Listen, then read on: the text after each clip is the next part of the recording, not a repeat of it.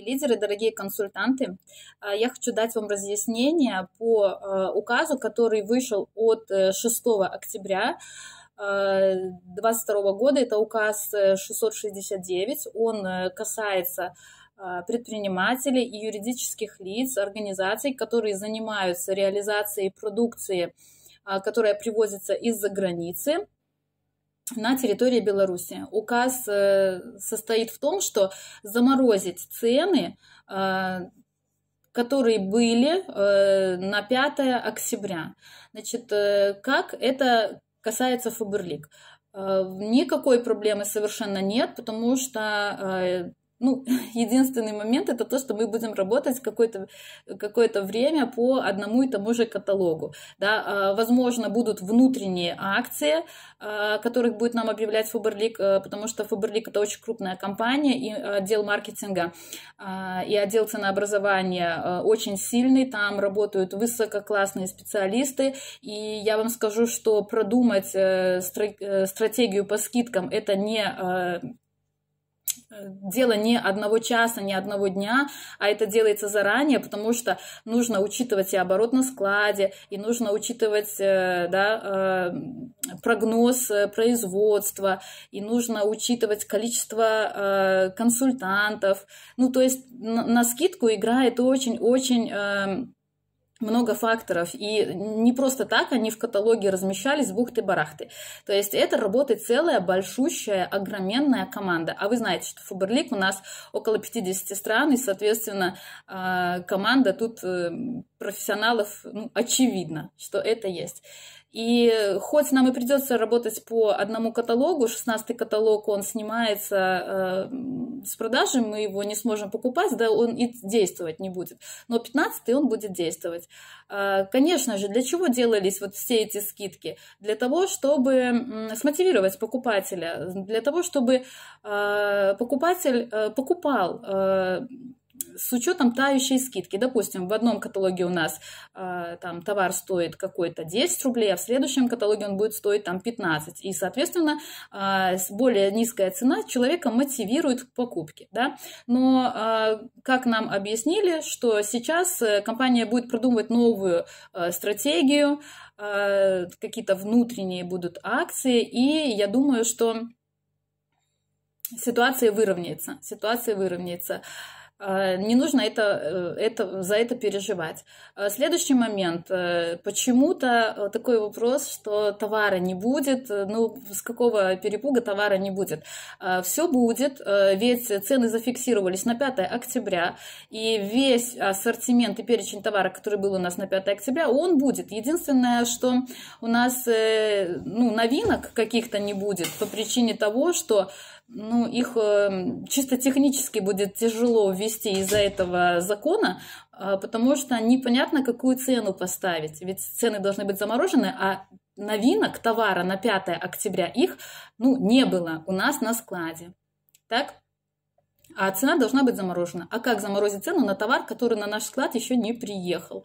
А, как эта ситуация отразится на консультантах э, Фаберлик? Очень хорошо, я вам скажу, она отразится, потому что э, вот такие а, в такие моменты в кризисные, да, э, наоборот, если крепкая компания, она очень сильно фиксируется на рынке. И сейчас наша задача не впадать в панику какую-то, да, боже, что делать, там ничего не делать, продолжать работать, все хорошо, у нас все хорошо, а, за нами а, большая компания, вы не одни, у нас большие команды, и мы все активно продолжаем работать, потому что людям как нужно было шампунь, так и нужен, как нужно мыло, так и нужно, как нужен лак для волос, так и нужно. То есть э, Э, люди все равно это будут покупать. Тем более, что э, предпринима... вот возьмите да, э, большую компанию Faberlic и возьмите предпринимателя обычного.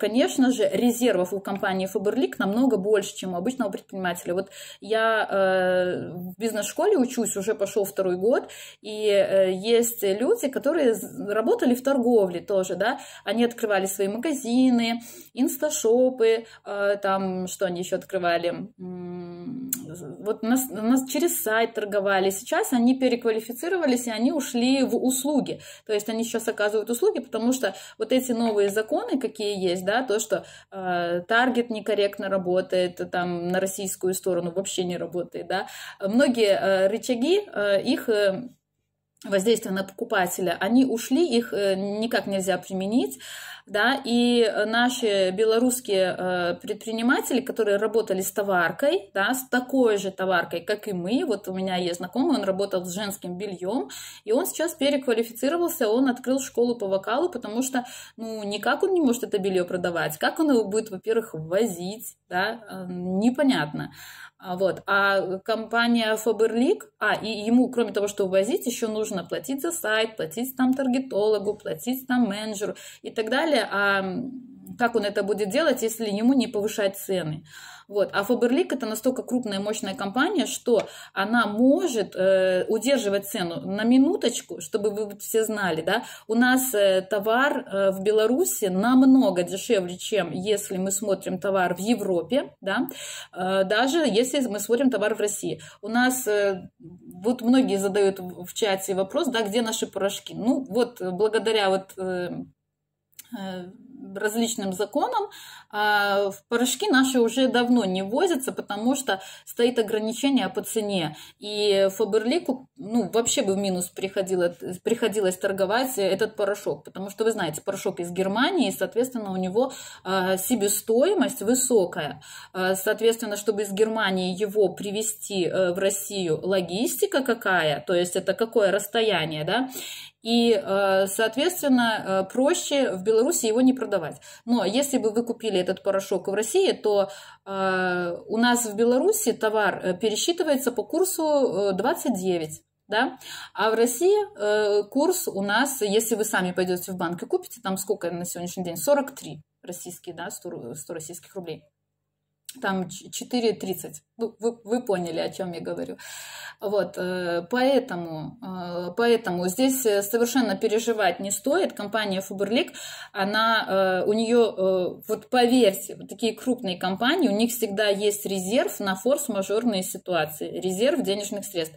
И сейчас они быстренько сориентируются, перенастроятся, и мы будем продолжать работать, как и работали. Ну, подумаешь, может быть, там, какой-то товар к нам сейчас не придет. Но попозже придет, э, все поменяется. Если срочно нам нужен этот товар, ну, есть у нас э, Россия рядом, граница рядом. Э, если уже срочно кому-то что-то надо, сделаем заказ. Но вообще мы продолжаем работать, продолжаем активно работать, все будет хорошо, вот стопроцентно. Потому что мы пережили с Фаберликом уже не один кризис, был кризис, я не помню, в девятом году, да, прям вообще мощный.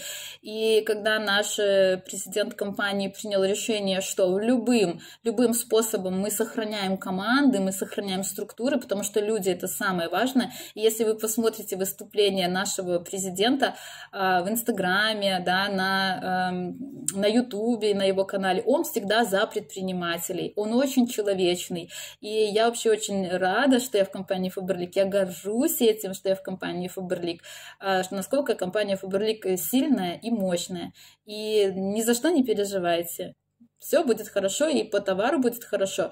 И вот сейчас самое главное, вы сгруппируйтесь, да, э, стресс – это самое худшее, да, э, паника, там, волнение – это самое худшее, что может быть в нынешней ситуации.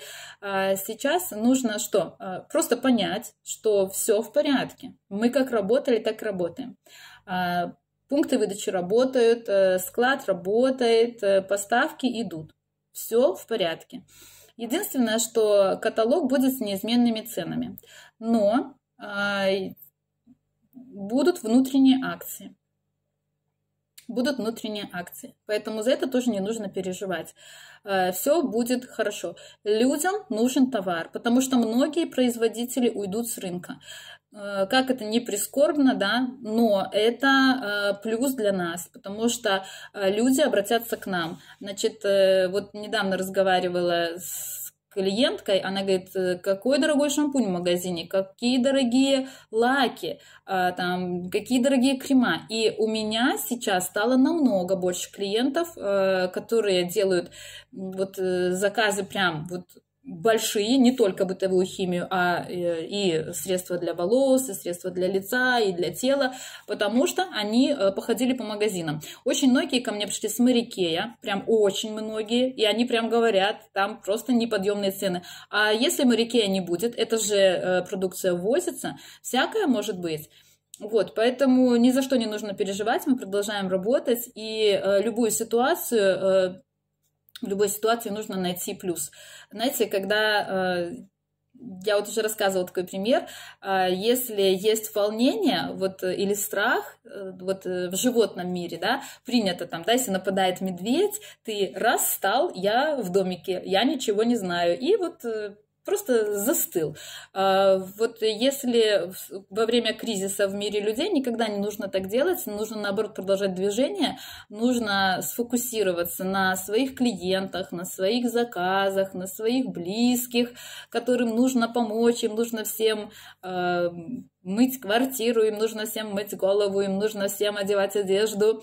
И у нас все это есть. И у вас есть сейчас хорошая, прям хорошая возможность э, заработать. Так что ничего, не расстраивайтесь, все хорошо. Мы продолжаем работать и работаем активно. А, предприниматель, а, он всегда действует, он всегда предпринимает. Так что наоборот, э, сейчас поддержите ваших клиентов, ваших консультантов, скажите им, что ничего, ничего не происходит. Если там в острове чистоты или где-то еще пропадет какой-то товар, ты знаешь, что всегда можно к нам прийти. Даже, смотрите, палочки, э, ватные палочки, что там у нас еще есть, э, там средства для снятия лака, то есть все, что раньше когда-то еще мы покупали там в таких магазинах специализированных, сейчас мы покупаем все здесь. Все есть Фаберлик.